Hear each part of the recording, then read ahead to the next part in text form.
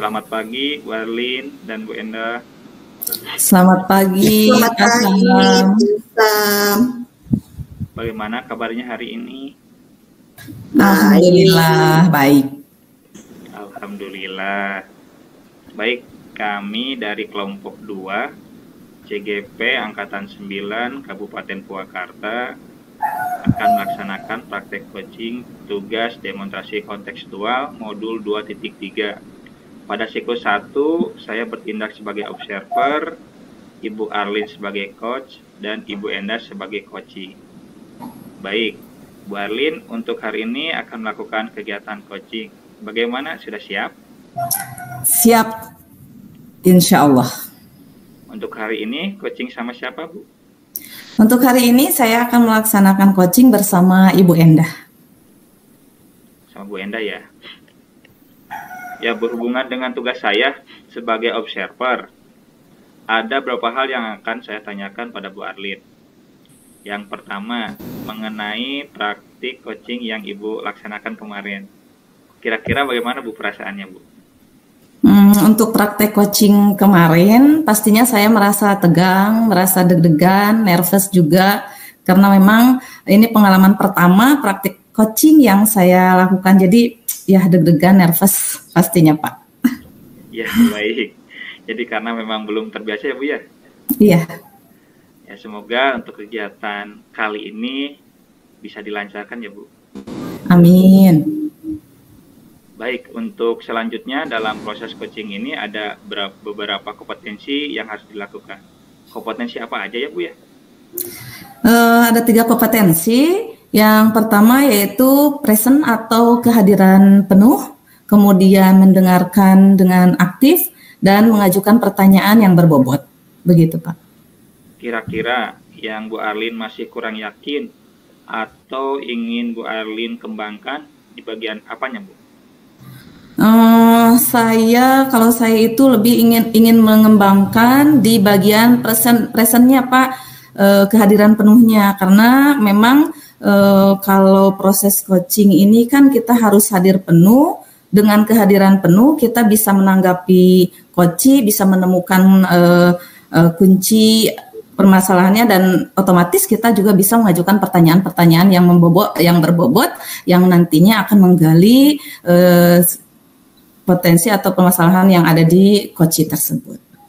Begitu, Pak. Iya, baik Bu.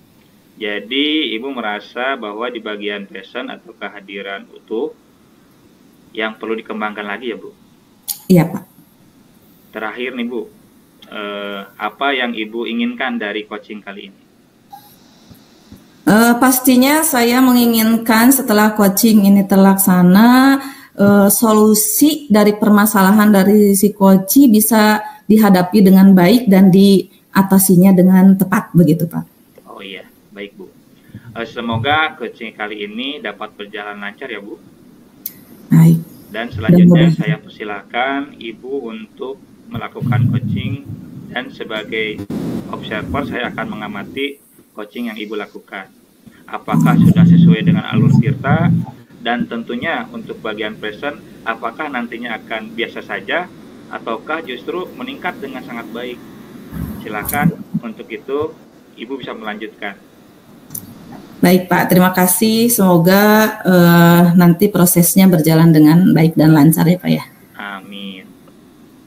Terima kasih Bu. Sama-sama terima kasih juga Pak Sam. Assalamualaikum. Waalaikumsalam Bu Arlin. Apa kabar Bu Endah? Baik Bu Arlin. Alhamdulillah baik ya. Alhamdulillah kita bisa diberi kesempatan untuk bertatap muka walau dar- dalam jaringan gitu ya Bu ya. Bu Endah, bagaimana nih kemarin Ibu menghubungi saya, katanya ada yang mau diceritakan. Betul begitu Bu? Iya betul Bu. Eh, saya ingin eh, cerita dengan Bu Arlin ya Bu ya. Gimana Bu Arlin ada waktu? Insya Allah ada Bu. Siap, ayo. Gini Bu, uh, saya punya permasalahan ya uh, seputar uh, mata pelajaran saya Bu. Anak-anak uh, itu uh, suka sih ya kalau misalnya diajak praktek di ruang komputer. Cuma itu uh, ada maksud lain mereka itu ternyata setelah praktek ruang komputer itu mereka lebih uh, suka untuk uh, curi-curi kesempatan, bermain game, foto-foto bersama teman-temannya. Kan itu mengganggu pelajaran, Bu. Nah, uh, solusinya saya pengen uh, anak-anak itu lebih fokus dulu ke praktek, baru dia uh, setelah selesai uh, bolehlah dia bisa foto-foto uh, bersama teman-teman mereka itu. Hmm, itu Bu. Iya. Jadi Ibu merasa ini juga ya kesulitan ketika anak-anak uh, diajak belajar untuk IT, mereka kelihatan senang akan tetapi uh, dengan kesenangannya itu tidak uh, tertuju pada tujuannya begitu ya Bu ya. Malah ya, ada main-main begitu ya Bu ya, padahal tujuan kita bukan seperti itu. Ya. Ke dalam hal ini, apa yang ingin Ibu kembangkan? saya pengen anak-anak itu lebih fokus ya dengan belajar komputernya. Mereka itu lebih me, pengen lebih menyukai itu pembelajaran di komputer, praktek-praktek aplikasinya, bukan berharap pengen bermain game di ruang komputer tersebut gitu, Bu. Oh, baik. Jadi uh, tujuan Bu Endah itu inginnya maunya peserta didik suka akan pelajarannya begitu ya walaupun ya, fasilitas iya fasilitas menyenangkan dengan dunianya kan tetapi tujuan utamanya uh, untuk mendorong pembelajaran begitu ya Bu ya. Mereka menyukai IT dengan tujuan untuk mendorong pembelajaran bukan hanya untuk main-main. Itu tujuannya berarti ya Bu ya? Ya betul sekali Bu Arlin itu. Hmm. oke baik uh, Bu.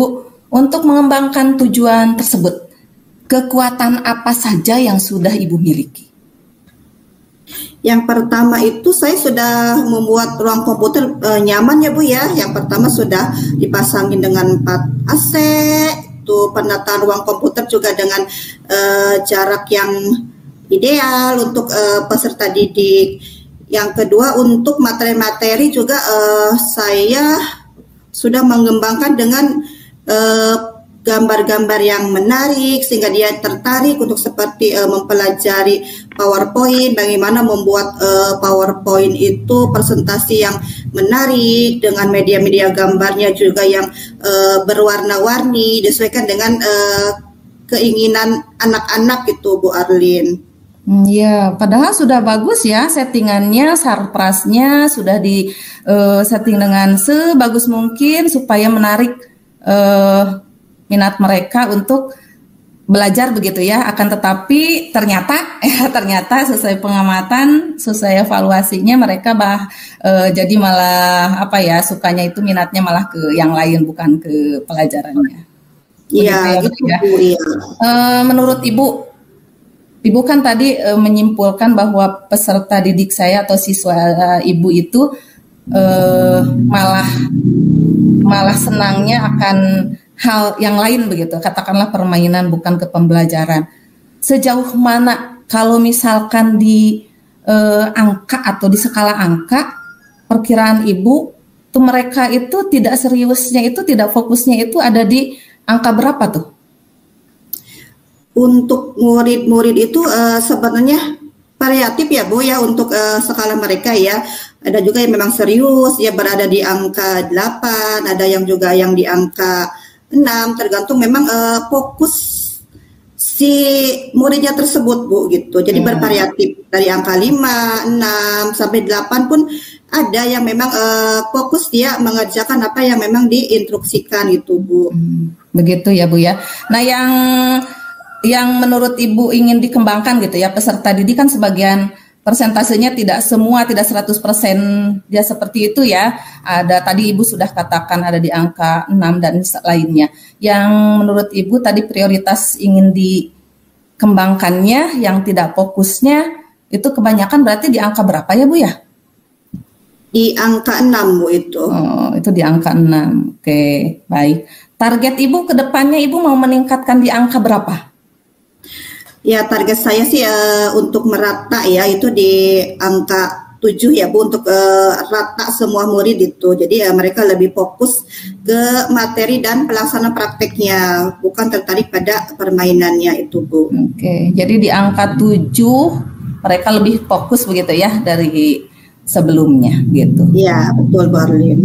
Baiklah, menurut Ibu ada tidak tantangan atau hambatan dalam mewujudkan tujuan Ibu? Untuk tantangan hambatan ya banyak sebenarnya kendalanya sih Bu ya. Yang pertama kalau dari segi teknis nih, segi teknis kalau di ruang komputer itu kan pasti membutuhkan aliran listrik tuh Bu. Anak sudah senang, eh ternyata ada di pemadaman, pemadaman listrik kan itu Bu, itu satu-satu kendalanya.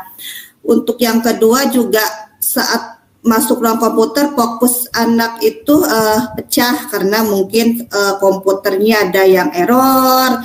Dia lagi senang di situ hmm. praktek ternyata uh, tahu-tahu komputernya error kan Bu gitu. Jadi anak ah dari turun lagi tuh semangatnya kan Bu gitu. Hmm.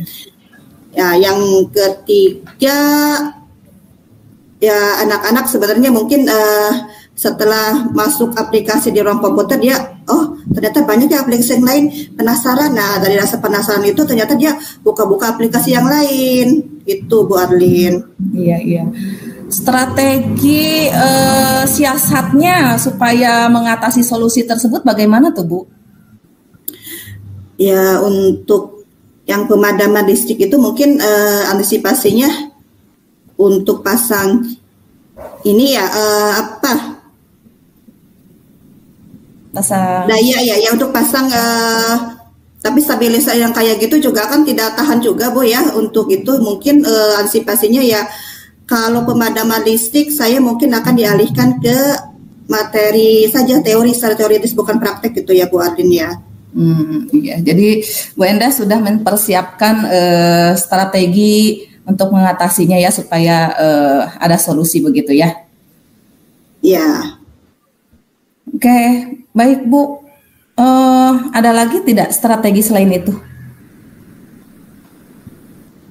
Untuk minat dan uh, ke mata pelajaran yang prakteknya itu uh, mungkin dari aplikasi gamenya kemungkinan akan saya hapus dari komputer-komputer di ruang komputer tersebut ya Bu Arlin ya untuk solusi yang itu karena memang mengganggu sekali ya begitu anak buka membuka aplikasi sesuatu oh ternyata ada gamenya dia lebih dahulu membuka gamenya jadi mungkin yang solusi pertama yang saya lakukan itu menghapus game-gamenya yang ada di uh, komputer tersebut hmm. supaya tidak mengganggu ya Iya betul. Baik itu Bu Endah. E, jadi beberapa tantangan hambatan sudah ternyata sudah e, barusan sudah Ibu utarakan akan ada solusinya begitu ya strategi-strateginya.